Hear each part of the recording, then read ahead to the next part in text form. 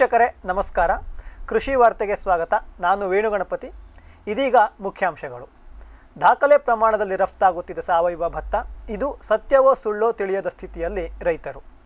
ಆಹಾರ ವಿಕಿರಣ ಉಪಚಾರ ಘಟಕವನ್ನು ಸ್ಥಾಪಿಸಲು ವಾಣಿಜ್ಯೋದ್ಯಮಿಗಳನ್ನು ಆಹ್ವಾನಿಸುತ್ತಿರುವ ಸರ್ಕಾರ.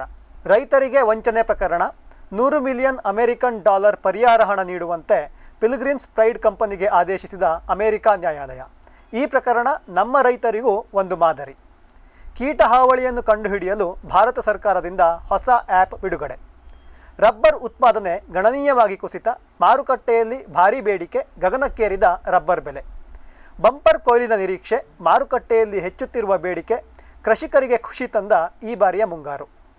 ಇದೀಗ ವಾರ್ತೆಗಳ ವಿವರ. ದಾಖಲೆಯ ಮಟ್ಟದಲ್ಲಿ ರಫ್ತಾಗುತ್ತಿದೆ ಸಾವಯವ ಭತ್ತ. ಇದು ಸತ್ಯವೋ ಸುಳ್ಳೋ ತಿಳಿಯದ ಸ್ಥಿತಿಯಲ್ಲಿ ರೈತರು. ಎರಡು ಸಾವಿರದ ಇಪ್ಪತ್ನಾಲ್ಕು ಇಪ್ಪತ್ತೈದನೇ ವರ್ಷದ ಪ್ರಾರಂಭದ ನಾಲ್ಕು ತಿಂಗಳಲ್ಲಿ ಸಾವಯವ ಭತ್ತ ದಾಖಲೆಯ ಮಟ್ಟದಲ್ಲಿ ವಿದೇಶಗಳಿಗೆ ರಫ್ತಾಗಿದೆ. ಆದರೆ ನಿಜವಾಗಿಯೂ ಇಷ್ಟೊಂದು ರಫ್ತಾಗಿದೆಯಾ ಅಥವಾ ಸಾವಯವ ಭತ್ತದ ಹೆಸರಿನಲ್ಲಿ ಕಾಳಧಂದೆ ನಡೆಯುತ್ತಿದೆಯಾ ಎನ್ನುವ ಅನುಮಾನ ಶುರುವಾಗಿದೆ. ಮಾರ್ಚ್ನಿಂದ ಜುಲೈವರೆಗೆ ಭಾರತದಿಂದ ಸುಮಾರು ಒಂದು ಲಕ್ಷದ ನಲವತ್ತಾರು ಸಾವಿರದ ಐದುನೂರ ಎಂಬತ್ತೈದು ಟನ್ನಷ್ಟು ಸಾವಯವ ಭತ್ತ ರಫ್ತಾಗಿದೆ. ಇದು ಕಳೆದ ವರ್ಷಕ್ಕಿಂತಲೂ ಹೆಚ್ಚು. ಎರಡು ಸಾವಿರದ ಇಪ್ಪತ್ತ್ಮೂರು ಇಪ್ಪತ್ನಾಲ್ಕನೇ ಹಣಕಾಸು ವರ್ಷದಲ್ಲಿ ಒಟ್ಟಾರೆಯಾಗಿ ಒಂದು ಲಕ್ಷದ ಏಳು ಸಾವಿರದ ಏಳ್ನೂರ ಇಪ್ಪತ್ತ ಏಳು ಟನ್ ಸಾವಯವ ಭತ್ತ ರಫ್ತಾಗಿತ್ತು. ಇಷ್ಟೊಂದು ಭತ್ತ ರಫ್ತಾಗಿದ್ದನ್ನು ಕಂಡು ಖುಷಿಯಾಗಿದ್ದ ರೈತರು ಈ ಅಸಹಜವಾದ ರಫ್ತಿನ ಹಿಂದೆ ಕಾಳಧಂದೆ ನಡೆಯುತ್ತಿದೆ ಎಂದಿದ್ದಾರೆ. ಅಮೆರಿಕ ಮತ್ತು ನೆದರ್ಲ್ಯಾಂಡ್ ಭಾರತದಿಂದ ಅತಿ ಹೆಚ್ಚು ಸಾವಯವ ಭತ್ತವನ್ನು ಖರೀದಿಸುವ ದೇಶಗಳು. ಆದರೆ ಈ ವರ್ಷ ಈ ಎರಡೂ ದೇಶಗಳಿಗಿಂತ ಜಾಸ್ತಿ ಭತ್ತ ವಿಯೆಟ್ನಾಂ, ಮೊಜಾಂಬಿಕ್, ಅಂಗೋಲಾ, ಕೀನ್ಯಾದಂತಹ ಬಡ ದೇಶಗಳಿಗೆ ರಫ್ತಾಗಿದೆ. ಈ ದೇಶಗಳು ಇದಕ್ಕೂ ಮೊದಲು ಯಾವತ್ತೂ ಕೂಡ ಭಾರತದಿಂದ ಸಾವಯವ ಭತ್ತವನ್ನು ಖರೀದಿಸಿಲ್ಲ. ಜೊತೆಗೆ ಆಮದು ಮಾಡಿಕೊಳ್ಳಲು ಕಟ್ಟುನಿಟ್ಟಾದ ಕ್ರಮ ಸಾವಯವ ಭತ್ತಕ್ಕೆ ಜಾಸ್ತಿ ಹಣವನ್ನು ಕೊಡುವ ಶಕ್ತಿಯೂ ಸಹ ಈ ದೇಶಗಳ ಬಳಿ ಇಲ್ಲ. ಭಾರತ ಸರ್ಕಾರ ಸೆಪ್ಟೆಂಬರ್ ಎರಡು ಸಾವಿರದ ಇಪ್ಪತ್ತೆರಡರಲ್ಲಿ ಸಾಮಾನ್ಯ ಭತ್ತದ ರಫ್ತನ್ನು ನಿಷೇಧಿಸಿತ್ತು. ಮೊದಲೆಲ್ಲ ರಫ್ತಾಗುತ್ತಿದ್ದ ಸಾವಯವ ಭತ್ತದ ಬೆಲೆ ಟನ್ನಿಗೆ ಒಂಬೈನೂರ ನಲವತ್ತು ಡಾಲರ್ನಷ್ಟಿತ್ತು. ಆದರೆ ಈಗ ಆಗಸ್ಟ್ನಲ್ಲಿ ಐದುನೂರ ಇಪ್ಪತ್ತೊಂಬತ್ತು ಡಾಲರ್ಗೆ ಇಳಿದಿದೆ. ಯಾವಾಗ ಭಾರತ ಸರ್ಕಾರ ಭತ್ತದ ರಫ್ತನ್ನು ನಿಲ್ಲಿಸಿತೋ ಆವಾಗಿನಿಂದ ಕಾನೂನು ಬಾಹಿರವಾಗಿ ಸಾವಯವ ಭತ್ತದ ಹೆಸರಿನಲ್ಲಿ ಸಾಮಾನ್ಯ ಭತ್ತವನ್ನೇ ರಫ್ತು ಮಾಡಲಾಗುತ್ತಿದೆ. ಅದಕ್ಕೆ ಈ ವರ್ಷ ಇಷ್ಟೊಂದು ಭತ್ತ ರಫ್ತಾಗಿದೆ ಎನ್ನುವ ದೂರು ಕೇಳಿಬರುತ್ತಿದೆ. ಆಹಾರ ವಿಕಿರಣ ಉಪಚಾರ ಘಟಕವನ್ನು ಸ್ಥಾಪಿಸಲು ವಾಣಿಜ್ಯೋದ್ಯಮಿಗಳನ್ನು ಆಹ್ವಾನಿಸುತ್ತಿರುವ ಸರ್ಕಾರ. ಪ್ರಧಾನಮಂತ್ರಿ ಕಿಸಾನ್ ಸಂಪದ್ ಯೋಜನೆ ಅಡಿಯಲ್ಲಿ ಆಹಾರ ಸಂಸ್ಕರಣಾ ಕೈಗಾರಿಕೆಗಳ ಸಚಿವಾಲಯವು ಬಹುಪದಾರ್ಥಗಳ ಆಹಾರ ವಿಕಿರಣ ಘಟಕವನ್ನು ಸ್ಥಾಪಿಸಲು ವಾಣಿಜ್ಯೋದ್ಯಮಿಗಳ ಅರ್ಜಿಯನ್ನು ಕರೆದಿದೆ. ಅರ್ಜಿ ಸಲ್ಲಿಸುವ ಕೊನೆಯ ದಿನಾಂಕ ಸೆಪ್ಟೆಂಬರ್ ಇಪ್ಪತ್ತೊಂದು, ಎರಡು ಸಾವಿರದ ಇಪ್ಪತ್ತ್ನಾಲ್ಕು ಆಸಕ್ತರು ಕೆಳಗೆ ಕಾಣುತ್ತಿರುವ ವೆಬ್ಸೈಟ್ನಲ್ಲಿ ಅರ್ಜಿಯನ್ನು ಸಲ್ಲಿಸತಕ್ಕದ್ದು. ಆಯ್ಕೆಯಾದ ಅಭ್ಯರ್ಥಿಗಳಿಗೆ ಸಬ್ಸಿಡಿ, ಸಹಾಯಧನ ಮುಂತಾದ ವ್ಯವಸ್ಥೆಯನ್ನು ಕೇಂದ್ರ ಸರ್ಕಾರ ಮಾಡಿಕೊಡಲಿದೆ. ಮೈಸೂರಿನಲ್ಲಿ ಎರಡು ದಿನಗಳ ಉಚಿತ ಕೋಳಿ ಸಾಕಾಣಿಕಾ ತರಬೇತಿ ಕಾರ್ಯಕ್ರಮ. ಶ್ರೀಗಂಗಾ ಚಾರಿಟೇಬಲ್ ಟ್ರಸ್ಟ್ ಮತ್ತು ಕರ್ನಾಟಕ ಸಹಕಾರ ಕುಕ್ಕುಟ ಮಹಾಮಂಡಳ ನಿಯಮಿತ ಪ್ರಾದೇಶಿಕ ಕಚೇರಿ ಮೈಸೂರು. ಇವರ ಸಹಭಾಗಿತ್ವದಲ್ಲಿ ಆಗಸ್ಟ್ ಇಪ್ಪತ್ತೇಳು, ಇಪ್ಪತ್ತೆಂಟರಂದು ಎರಡು ದಿನಗಳ ಉಚಿತ ಕೋಳಿ ಸಾಕಾಣಿಕಾ ತರಬೇತಿ ಕಾರ್ಯಕ್ರಮವನ್ನು ಆಯೋಜಿಸಲಾಗಿದೆ. ಕೇವಲ ಐವತ್ತು ಜನ ರೈತರಿಗಷ್ಟೇ ಅವಕಾಶ ಇದ್ದು, ಈ ಕೂಡಲೇ ನಿಮ್ಮ ಹೆಸರನ್ನು ನೋಂದಾಯಿಸಿಕೊಳ್ಳಲು ಸೂಚಿಸಲಾಗಿದೆ. ನೋಂದಣಿಗೆ ತೆರೆಯ ಮೇಲೆ ಕಾಣುತ್ತಿರುವ ಸಂಖ್ಯೆಗೆ ಕರೆ ಮಾಡಿ. ಕೀಟ ಹಾವಳಿಯನ್ನು ಕಂಡುಹಿಡಿಯಲು ಭಾರತ ಸರ್ಕಾರದಿಂದ ಹೊಸ ಆ್ಯಪ್ ಬಿಡುಗಡೆ. ಕೇಂದ್ರ ಕೃಷಿ ಮತ್ತು ರೈತ ಕಲ್ಯಾಣ ಸಚಿವಾಲಯವು national pest surveillance system N P S S ಅಥವಾ ರಾಷ್ಟ್ರೀಯ ಕೀಟ ಕಣ್ಗಾವಲು ವ್ಯವಸ್ಥೆ ಅಡಿಯಲ್ಲಿ ಕೀಟಬಾಧಿತ ಹೊಲ ಅಥವಾ ತೋಟಗಳ ಬಗ್ಗೆ ಮಾಹಿತಿ ಪಡೆಯಲು ಮೊಬೈಲ್ ಆ್ಯಪ್ ಒಂದನ್ನು ಬಿಡುಗಡೆಗೊಳಿಸಿದೆ. ಈ ಸಂದರ್ಭದಲ್ಲಿ ಮಾತನಾಡಿದ ಕೃಷಿ ಮತ್ತು ರೈತ ಕಲ್ಯಾಣ ಸಚಿವರಾದ ಶ್ರೀ ಶಿವರಾಜ್ ಸಿಂಗ್ ಚೌಹಾಣ್ ಅವರು, ಈ ಆ್ಯಪ್ ರೈತರ ಹೊಲದಲ್ಲಿ ಹಾವಳಿ ಇಡುತ್ತಿರುವ ಕೀಟಗಳನ್ನು ಪತ್ತೆ ಹಚ್ಚುವಲ್ಲಿ ನೆರವಾಗಲಿದೆ. ರೈತರು ತಮ್ಮ ಬೆಳೆಗೆ ಹಾನಿ ಮಾಡುತ್ತಿರುವ ಕೀಟಪೀಡೆಯ ಫೋಟೋ ಹೊಡೆದು ಈ ಆ್ಯಪ್ನಲ್ಲಿ ಅಪ್ಲೋಡ್ ಮಾಡಬಹುದು. ಇದು ಯಾವ ಕೀಟ? ಕೀಟದ ಹಾವಳಿ ಎಷ್ಟಿದೆ? ಇದು ಕೇವಲ ಕೆಲ ರೈತರ ತೋಟ ಅಥವಾ ಹೊಲದಲ್ಲಿ ಬಾಧಿಸುತ್ತಿದೆಯಾ? ಅಥವಾ ಈ ಕೀಟವನ್ನು ಸಾಮೂಹಿಕವಾಗಿ ಹತೋಟಿ ಮಾಡಬೇಕಾಗಿ ಬರುತ್ತಿದೆಯಾ ಎನ್ನುವ ವಿಷಯಗಳು ಸರ್ಕಾರಕ್ಕೆ ತಕ್ಷಣಕ್ಕೆ ತಿಳಿಯುವುದರಿಂದ ಕೀಟದ ಸಮಗ್ರ ನಿರ್ವಹಣೆಗೆ ಈ ಆ್ಯಪ್ ಸಹಕಾರಿಯಾಗಲಿದೆ. ಈ ಎಲ್ಲ ಮಾಹಿತಿಯನ್ನು ಪರಿಗಣಿಸಿ ಆ್ಯಪ್ನಲ್ಲೇ ತಕ್ಷಣಕ್ಕೆ ರೈತನಿಗೆ ಪರಿಹಾರ ಕ್ರಮಗಳನ್ನು ಸಹ ತಿಳಿಸಲಾಗುತ್ತದೆ ಎಂದರು. ಎನ್ ಪಿ ಎಸ್ ಎಸ್ ಎನ್ನುವ ಆ್ಯಪ್ ಇದಾಗಿದ್ದು ಆಂಡ್ರಾಯ್ಡ್ ಮತ್ತು ಐಫೋನಿನ ರೈತರು ಸಹ ಇದನ್ನು ಹಾಕಿಕೊಳ್ಳಬಹುದು. ರೈತರಿಗೆ ವಂಚನೆ ಪ್ರಕರಣ, ನೂರು ಮಿಲಿಯನ್ ಅಮೆರಿಕನ್ ಡಾಲರ್ ಪರಿಹಾರ ಹಣ ನೀಡುವಂತೆ ಪಿಲ್ಗ್ರಿಮ್ಸ್ ಪ್ರೈಡ್ ಕಂಪನಿಗೆ ಆದೇಶಿಸಿದ ಅಮೆರಿಕ ನ್ಯಾಯಾಲಯ.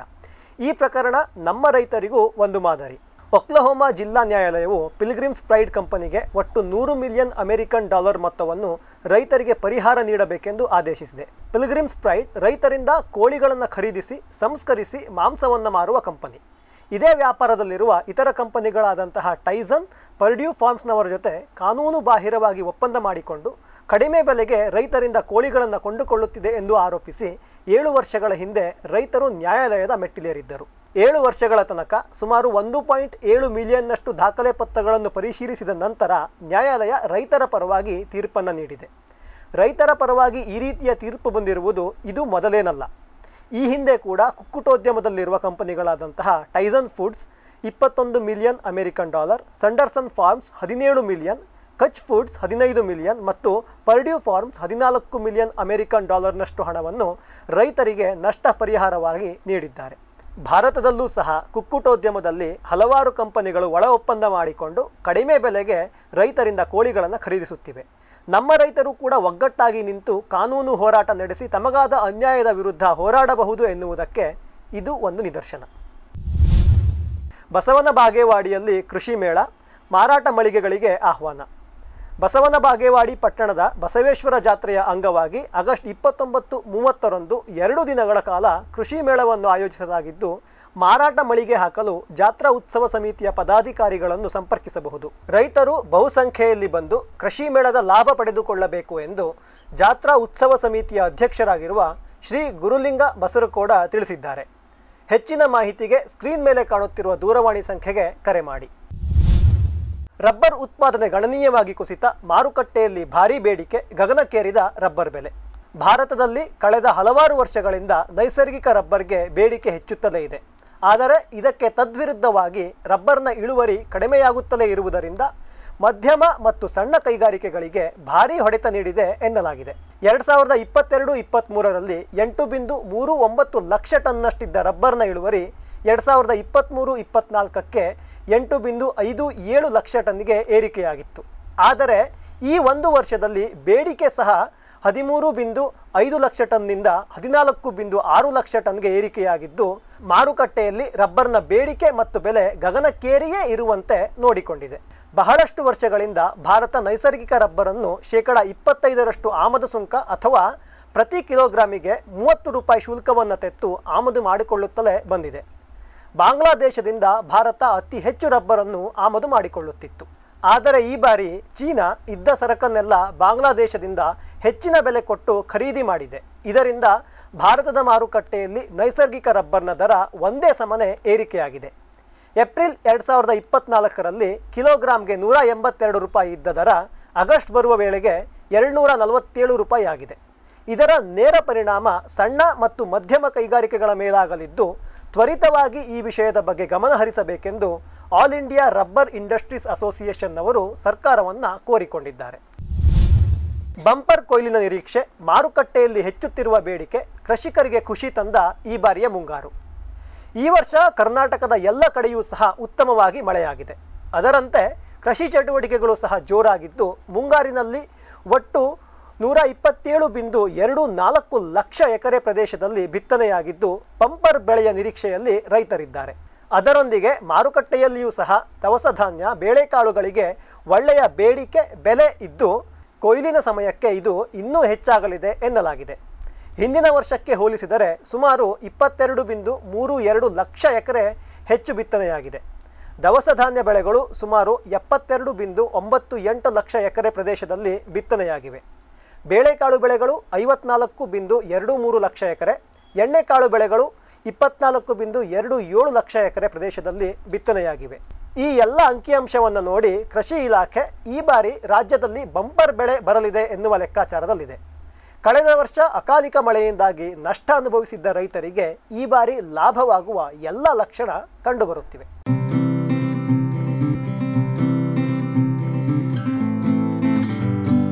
ದಿನಕ್ಕೆ ನೂರು ಕಿಲೋಗ್ರಾಂನಷ್ಟು ಹಲಸಿನ ಹಣ್ಣು ಬೇಕಾಗಿದೆ. ಬೆಂಗಳೂರಿನ ಉಳ್ಳಾಲ ಉಪನಗರಕ್ಕೆ ತೊಳೆ ಬಿಡಿಸಿದ ಹಲಸಿನ ಹಣ್ಣು ಬೇಕಾಗಿದೆ. ಪ್ರತಿದಿನ ನೂರು ಕಿಲೋಗ್ರಾಂನಷ್ಟು ಹಣ್ಣು ಬೇಕಾಗಿದ್ದು ಗುಣಮಟ್ಟದ ಆಧಾರದ ಮೇಲೆ ಯೋಗ್ಯ ದರ ಕೊಟ್ಟು ಖರೀದಿಸಲಾಗುವುದು. ಹಲಸಿನ ಹಣ್ಣು ಬೆಳೆಯುವ ರೈತರು ಸ್ಕ್ರೀನ್ ಮೇಲೆ ಕಾಣುತ್ತಿರುವ ಸಂಖ್ಯೆಗೆ ಕರೆ ಮಾಡಿ. ಒಳ್ಳೆ ಹಾಲು ಕೊಡುವ, ಆರೋಗ್ಯವಾಗಿರುವ ಮುರ್ರಾ ಎಮ್ಮೆ ಬೇಕಾಗಿದೆ. ನಂಜನಗೂಡಿನ ರೈತರಾದ ಶ್ರೀ ಮಹಾದೇವ ಸ್ವಾಮಿ ಅವರಿಗೆ ಮುರ್ರಾ ಎಮ್ಮೆ ಬೇಕಾಗಿದೆ. ಒಳ್ಳೆಯ ಹಾಲು ಕೊಡುವ ಆರೋಗ್ಯಯುತವಾದ ಎಮ್ಮೆ ಇದ್ದರೆ ಫೋಟೋ ಕಳುಹಿಸಿ ದೂರವಾಣಿಯ ಮೂಲಕ ಸಂಪರ್ಕಿಸಿದರೆ ಉತ್ತಮ. ಮೈಸೂರಿನ ಸುತ್ತಮುತ್ತಲಿನ ರೈತರಾದರೆ ಒಳ್ಳೆಯದು. ಇವಿಷ್ಟು ಇವತ್ತಿನ ಕೃಷಿ ವಾರ್ತೆ.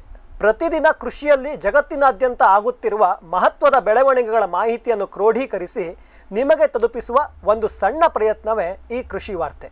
ಇಂತಹ ಕೃಷಿಯ ಸುದ್ದಿಗಳನ್ನು ನಿಮ್ಮ ಸುತ್ತಲೂ ನಡೆದ ಅಥವಾ ನಡೆಯಲಿರುವ ತರಬೇತಿ ಕಾರ್ಯಕ್ರಮ, ರೈತ ಸಮಾವೇಶಗಳ ಸುದ್ದಿಯನ್ನು ನೀವು ಕೂಡ ನಮಗೆ ಕಳುಹಿಸಬಹುದು ಜೊತೆಗೆ ಕಾರ್ಯಕ್ರಮದ ಬಗ್ಗೆ ನಿಮ್ಮ ಅಭಿಪ್ರಾಯವನ್ನು ತಿಳಿಸಿ, ಈ ಕಾರ್ಯಕ್ರಮ ಇನ್ನಷ್ಟು ಅಂದವಾಗಿ ರೈತರಿಗೆ ನಿಜವಾಗಿಯೂ ಸಹಾಯವಾಗುವಂತೆ ಮೂಡಿಬರಲು ನಮಗೆ ಸಹಕರಿಸಿ ಎಂದು ಕೇಳಿಕೊಳ್ಳುತ್ತಾ ಇವತ್ತಿನ ಕೃಷಿ ವಾರ್ತೆಯನ್ನು ಮುಗಿಸೋಣ.